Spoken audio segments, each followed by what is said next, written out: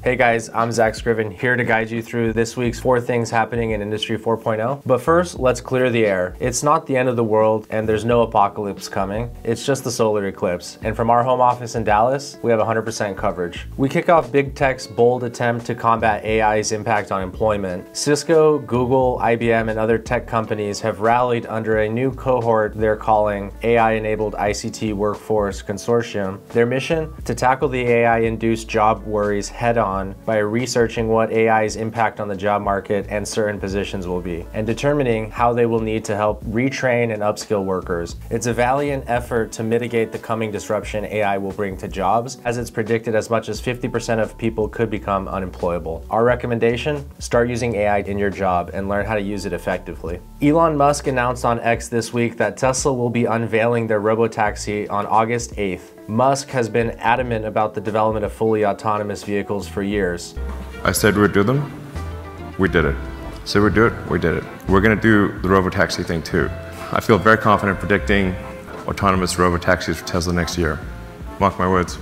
And this announcement comes after the release of FSD version 12 and rumors that Tesla will be ditching their plans to develop a $25,000 electric vehicle, though Elon Musk has denied these claims. In an X thread, Sawyer Merritt speculated that the Robotaxi and the 25K EV are going to be built on the same platform, and Elon Musk's vague response points to this being true. Either way, fully autonomous driving will be coming in the future, just like automation was inevitable after the first PLC was created in 1969. Quick word from our sponsor, feeling eclipsed by the pace of digital transformation? Break free from darkness with our 16-week Digital Factory Mastermind Accelerator starting on June 3rd. This week only, you can sign up for our launch sale and save $1,000 while getting access to the 16 week of guided lessons. Recorded lessons by Walker Reynolds and live coaching calls facilitated by me. This program is your pathway out of the shadows and into the light of digital mastery. Don't let digital revolution leave you behind and Ragnarok your facility. Seize this moment of alignment to catalyze your growth and emerge as the leader in the new digital dawn with 4.0 solutions. Click the link below to sign up.